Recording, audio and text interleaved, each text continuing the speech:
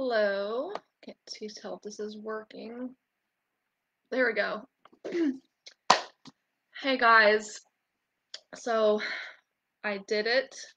I finished my first year at BSSM Bethel School of Supernatural Ministry.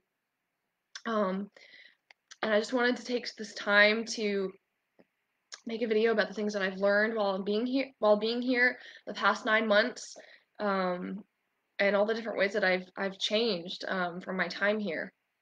I I wasn't actually really even sure what brought me out here or um, why I came. So many people asked me like, Grace, why um, why do you want to go to BSSM? Like, you know, what do you think you're gonna you're gonna get from going there? And honestly, when people ask me that, I didn't know what to tell them because I had no idea. Like all I knew was that like I felt very strongly that God was calling me to go. I knew next to nothing about the school. Like I hadn't even heard of it really before. Um, you know, I just happened to come across it through a friend. They recommended I check it out.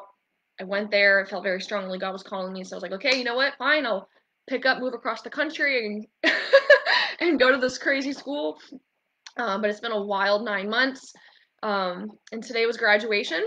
Um, this is my beautiful diploma, uh, Bethel School of Supernatural Ministry, signed by Bill Johnson and Kris Vallotton. And even though this isn't a real diploma, like it doesn't actually count for anything, this piece of paper means like 12 times more to me than like my master's degree right like these these these two guys bill johnson and kris vallotton like they've sowed more into my life than any amount of like formal education i've ever received um, so yeah, I just want to take just a, you know a few minutes just to talk about what I've learned here and how I've changed. Um, there are so many things. I'm actually in the process of making a list right now, and I'm already filled up a whole page of like things that I've learned here and things I've learned about myself and about God since coming to BSSM. Um, but like the overarching theme um, would be that the biggest thing I've my biggest takeaway from this year has really I would have to say has just been a a fresher and deeper understanding of God's goodness. And it's funny because like I didn't actually think that this was something that I struggled with. Um like I've never had a problem believing that God was good. Um I know lots of people actually do have a hard time with this because they see like all the stuff that goes on in the world or they've had personal trauma uh, or hard times in their life and they question whether God is good. And I've I've had my share of of traumatic things happen to me um you know and but I've I've never struggled with believing or knowing that God is good. You know, they always say like God is good all the time, all the time God is good, you know. Um and so like in my head like I always knew God was good, but I guess like I didn't know it in my heart. Like there's a difference between knowing something intellectually and knowing something experientially.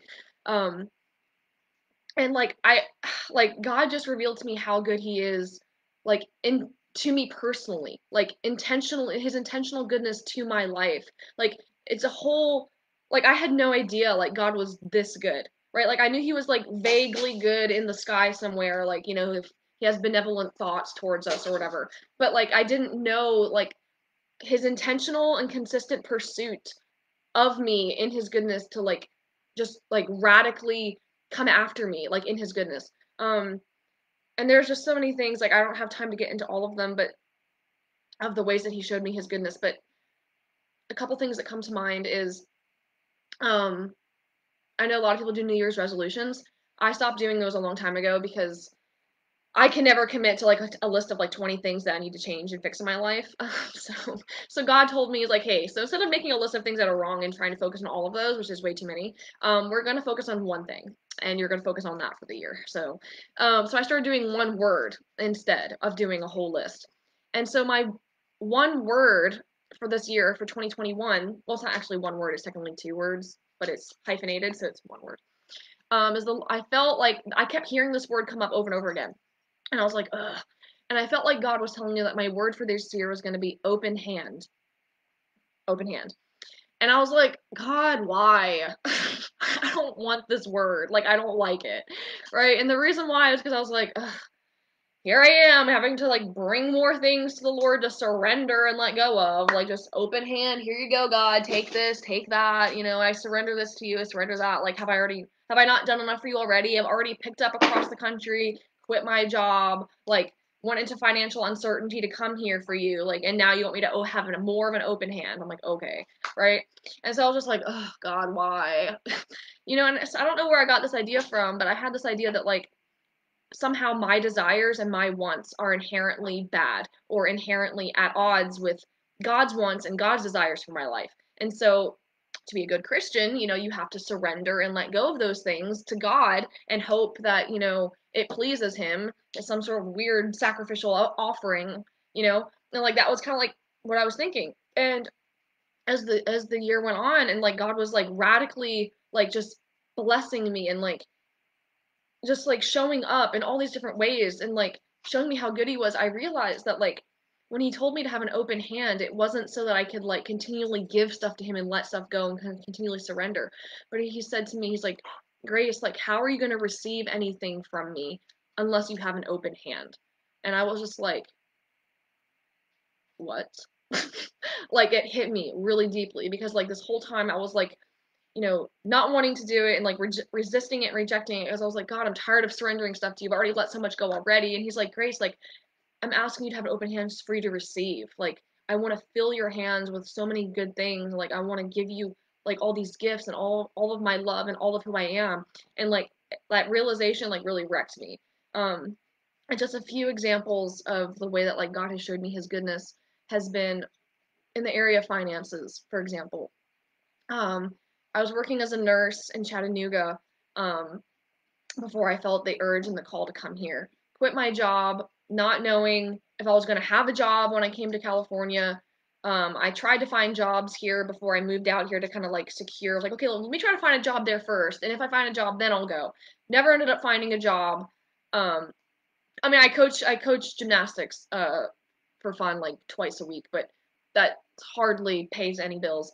Um, it's more, mostly just for exercise and fun.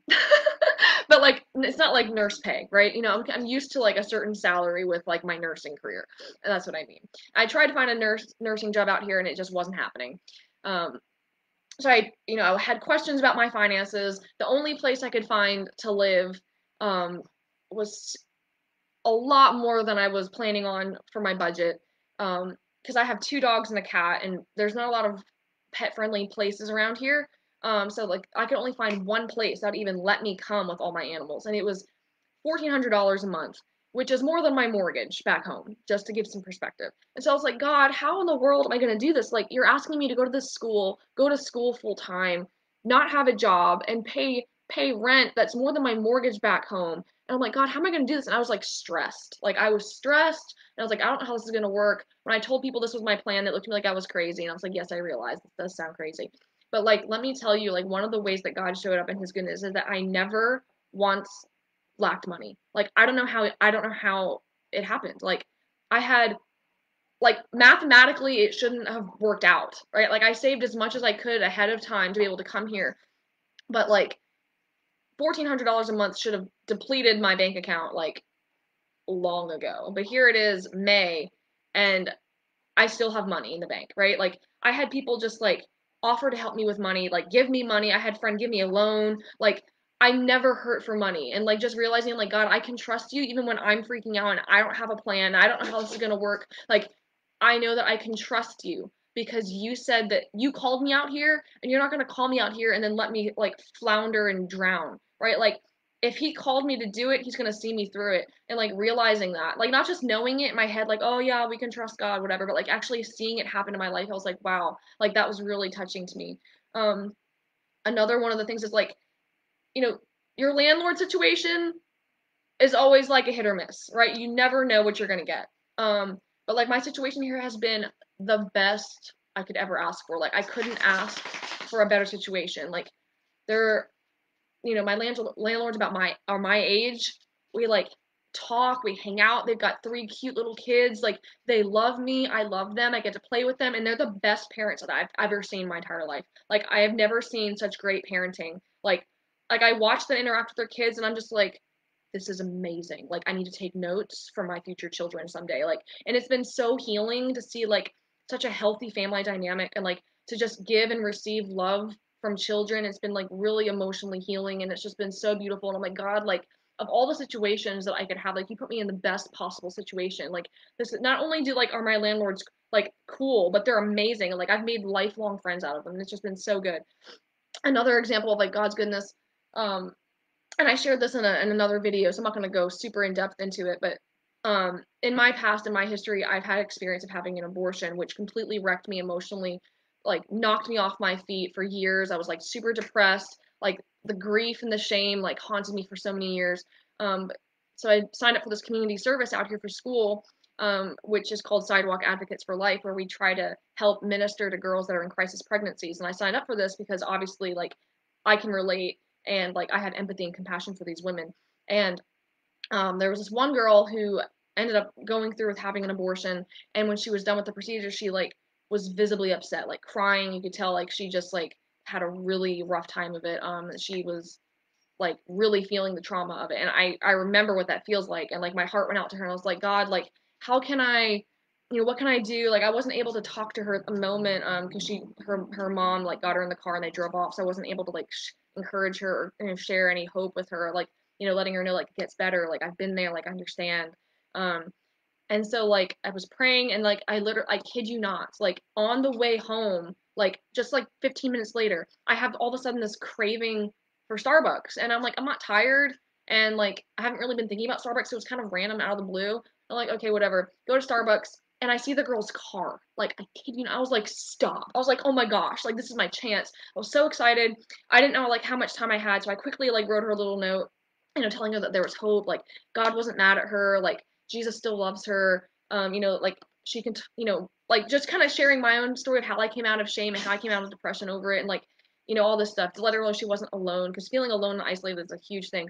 Anyways, like you know, then I was then like after I get I like ran and gave her the note, I realized I'm like, man, I forgot to give her my phone number or like email just in case she wants to reach out and talk. Hi, this is Wendy. Um, and I was beating myself up. I was like, man, like Grace, like you, oh, you idiot, like how could you forget that? And so then, literally the next day, I was out for a bike ride and I see the girl's car again, and I'm like, and the girl's car was on my street and i was like stop it. Like does this girl live on my street? And like i kept seeing her car there multiple days in a row and like so like one of the days she had her car window rolled down a little bit so like i wrote like two pages long like like spilling my guts like telling her my whole story like letting her know like there's hope and all these different things like giving my contact information in like slipping it into her window. And like in that moment like i was just so overwhelmed with like how good god is like how he would he would use me to like to reach this girl. I don't even know her. Like I know nothing about her, but like he's obviously chasing after this girl. Like right like there's like too many coincidences for it to like be like, "Oh, well, it's just coincidence." Like I bumped it. I, I saw her car like because I had a craving for Starbucks, and then she lived on my street, and like he used me like the one person that like actually would understand because I've been there to like reach out to her and like realizing like God, you're so like you love this girl so much like and realizing that like like he used me to like show his love for someone he's chasing down and like pursuing after. Like that just really wrecked me too. Um and then again like i have a list of things. I don't want to make this video way too long but like one of the other things that like really like really um impacted me a lot like realizing like god's goodness was how several people like independently like came up to me like one on one and told me like they looked at me like Grace, you're a completely different person than you were nine months ago when you first started school.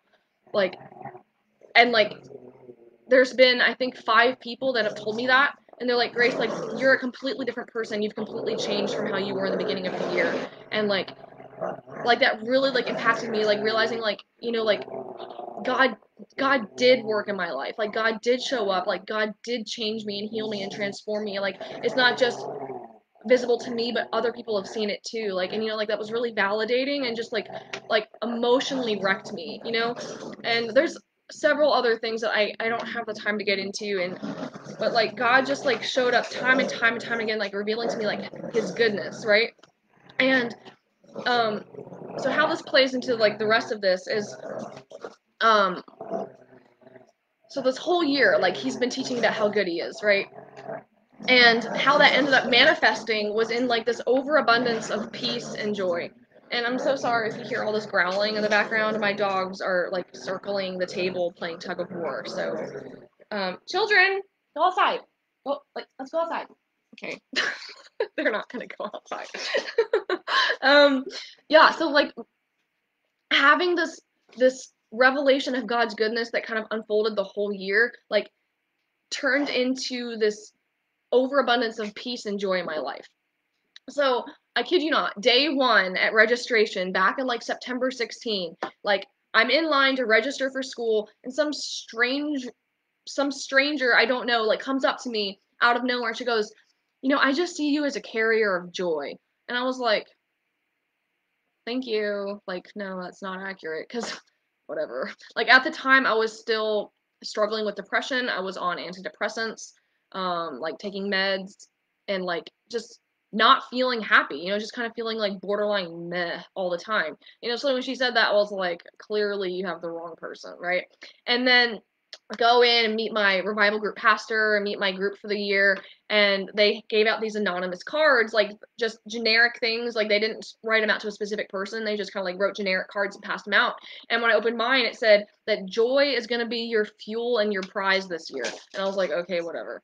But like and that kind of thing happened over and over and over again about experiencing joy and how i carry joy and i'm like what are all these people like i don't carry joy okay like i carry depression all right like you know and so and like this whole year i'm like it kind of felt like it put pressure on me. I was like, okay, like people think I'm supposed to carry joy, but like I'm feeling depressed. And like if you're a good Christian and you have faith in God, you're not gonna feel depressed. So I need to like really try hard to crank out some joy here. And it turned into like this performance works thing where like I was trying to crank out joy and like manufacture it in my mind to like convince myself of all the reasons why I should be joyful, right? And it just wasn't working, right? Because I was like striving and working for joy, which that's not how joy works, right? And one of the things that I was struggling with this through the year um, was God told me, He's like, Grace, remember in the Bible where it says that like the fruits of the Spirit what the what the fruits of the spirit are and I was like, yeah. He's like, well, what are they? I was like, well, love, joy, peace, patience, kindness, goodness, faithfulness, gentleness, and self-control. Right? He's like, and he took me back to joy, like love and joy, um, joy and peace specifically for me. He's like, those are the fruits of the spirit, and I was like, okay. And he's like, like fruits come as a result from a tree, like fruits don't just appear out of nowhere, right? Like you don't just like like, voila, here's a fruit. Like it grow it comes from a tree. Like an apple tree grows apples, right? And so like if you want to have the apples, you have to first have the apple tree. And the apple tree has to be healthy before it can produce apples. Like you you don't just like not take care of the tree. You don't it's not like you can expect it to not give it any sunlight and not give it any good soil and to not water it and then expect it to grow good apples, right? Like the apples come from the tree, right? And so God was telling me, He was like, Grace, like you're trying to produce joy in your life and produce peace.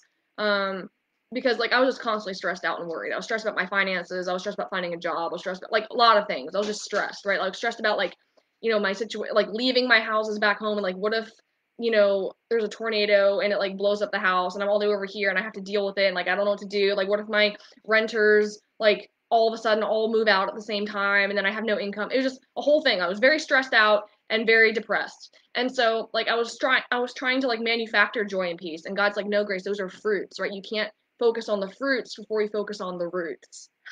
I'm a poet. Oh, that was good. So anyways, he was teaching like Grace, you have to focus on the tree first. And so let me just draw this picture real quick. This is the picture that he showed me. It's obviously gonna not look very pretty right now, but so this is one flower, and this is another flower. We'll call this one the joy flower, and this is the peace flower. Okay? And he's like, you're trying to produce these without paying attention to like the plant, right? So the plant's here, and here's the soil, and here are the roots, right? And so God told me, He was like, look, joy and peace will naturally be produced when you have trust in me, and the, let's let's call these roots trust, right? And the soil, uh, don't, judge my drawing. This black squiggle, squiggle is soil. And he says the soil is is my goodness, right? So we'll just put God's goodness. Eh, Can you even read that? Is this even okay? So he told me that joy and peace are naturally produced um, when your roots are firmly and deeply rooted in God's goodness, right? Because how can you have joy and peace when you don't trust God? Like, right? Like, if I if I'm not sure I can really trust Him, then I'm gonna be stressed out thinking that I've got to take care of everything myself. Like, I've got to figure out how I'm gonna make my bills. I'm gonna figure out how I'm gonna, you know, get food on the table. I'm gonna have to figure out how to deal with my renters and my mortgage and like all these different things by myself.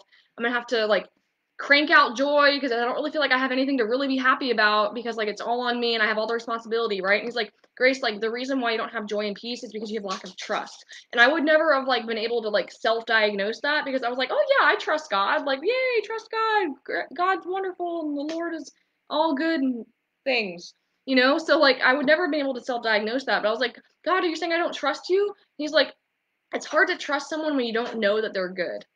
And like that hit me because like um you know like trust isn't just like this trust and faith are the same thing but i feel like the word faith is just a christianese version of it. Like trust is a much better like definition for the word faith and kind of faith gives like this like negative connotation in the sense where it's like oh i just have this blind faith where i'm just like dumbly believing things and it's like no like god doesn't want you to just blindly like be like okay well i hope this is true like no he wants you to trust him right? Like that trust is based off of like facts and knowledge and relationship. Like you can't have a relationship without trust, right? And God, like He's in it for a relationship. He's not in it for you just like blindly adhering to rules and like just doing what He says and paying homage by going to church and doing your Christian duties. Like it's not about that. Like it's about relationship, right? So like you can't have a relationship without trust. And how am I supposed to trust Him if I don't believe He's good, right? Because like if I secretly doubt, like well like god when i'm when i'm really in need like are you going to be there for me like are you is does your goodness extend to me individually? Like i know you're like vaguely good up there in the heavens and like you are full of benevolent thoughts but like when it comes to me personally like are you gonna like fight for me? Are you gonna like come through when i need it? You know and like knowing something in your head and like reading about it in the bible is completely different than knowing it experientially. And like when i started having all these revelations of god's goodness and how he kept showing up and like how like he was chasing after me and how he was using me and how like all this stuff like this like this understanding and this like flower was like starting to blossom and open realizing like God is really good. And like when the soil of God's goodness is good and my my trust is able to like the roots are able to like go deeper like then like naturally joy and peace are going to be the result right? Because like when the storm comes or like when the heavy rains come or if there's not enough sun, or if the sun is a little bit too hot, like when you have deep roots, you're able to withstand, right? It's like you know those trees that like their their roots go so deep and they're able to like stand firm even in the middle of like a really big windstorm because like they've got a solid foundation, right? Like if you have no roots, like your roots are super shallow and like you like you're gonna like the flower's just gonna shrivel and die in two seconds, right? So like I'm trying to produce all this joy and peace on my own and like making it this something I'm trying to crank out like a joy and peace factory. It's like I can't do that, right? Like first of all, I can't produce that in myself. It's a fruit of the spirit. So the spirit gives me that and it just is naturally produced when I trust in his goodness. And like that has just been like life changing because I'm like my situations haven't changed, right? Like I'm still depending on him for finances. I still have two houses back home that I'm stressing about the mortgages and worrying about, you know, making sure my renters are all good and like the AC unit doesn't blow up or like the roof doesn't start leaking while I'm gone and like trying to make sure my Airbnb stays booked and it gets cleaned and like a fresh disaster doesn't happen and like you know all these different various things to stress about and like you know watching the numbers in my bank account go smaller and smaller like nothing about my situation has changed and the things that I was depressed about while I was taking antidepressants in the first place none of those things have changed either but like I feel different. Like I feel joy and I feel peace because I know that it comes from my trust in God's goodness rather than like in me taking care of myself, right? Because when we think it's all on us, like that's stressful. Like if you don't really think that anyone has your back or everything is on you, um, then it's all on you, right? And you have no one to fall back onto. Um, and like that's really what I feel like God really wanted me to learn um, this year was I mean, the theology is fine, the doctrines are cool, like learning this trick and this trick and this tool for whatever and reading these books and getting to meet these cool speakers and these you know famous people and getting to go on trips. Like that's all great, but that's not why God called me to BSSM, right? Like all that is like icing on the cake, but like the reason that like God wanted me to come here was because he wanted to show me how good he is to me personally, not just in a vague sense, but a very specific intentional sense, right? And that was able to deepen my trust. And God wants me to be full of joy and peace. Like when Jesus came, he said, I have come so that you may have life and have it more abundantly, right? Like God's not interested in like mindless robots just like I will go to church every Sunday and read the Bible for an hour a day. Like, like he, that's not what he wants. Like, he wants a dynamic, like, actual relationship. Like, and what relationship can function without trust? It can't. Like, like if you have no trust in a relationship, there's no relationship, right? And that's where like the game changer is with God. Like, it's not about like reading your Bible every day or praying or like going to church or doing ministry or whatever, all those those things are good, but that doesn't substitute a relationship, right? And so um wow, I've been talking for a long time. Sorry. Um so yeah, that's that's my biggest takeaway from this year. Um I hope this made sense to you guys. I hope it um blessed you in some way. Um, I would love to answer anyone's like specific questions about BSSM. I know a lot of my friends back home uh, have a lot of questions about this place, a lot of concerns. I understand because like I had a lot of those same questions and concerns when I first heard about it. I was like, they do what? Where? They they think what? They believe why? You know, but hey. Um, so feel free to message me about that. Um, the real question is will I be coming back for second year? Who knows, right? Like thinking about that might stress me out. So I'm just going to leave that one to God and trust that uh, whatever path He wants me to go home and start working and being a nurse and pursuing my life as a nurse practitioner, or if He wants me to come back, that it'll be okay because I can trust that He's good. So yeah, that's my challenge to you guys. Um, is if you ever, if you're not sure that you know that God is good to you personally, um, talk to Him, tell Him that, right? Like He's not afraid he's not afraid to have that real conversation with you. Just like in a real real relationship, like if I was dating someone or whatever, you know, you want to build that foundation of trust um, based off of knowing them. Like you can't trust someone without really knowing them, and you can't really know someone without having like one-on-one time talking to them. So I would start there. Um, it's a good place to start. Anyways, I love you guys. Uh, thanks for listening, and I'm gonna try to figure out how to make this video stop. Here it is. Bye.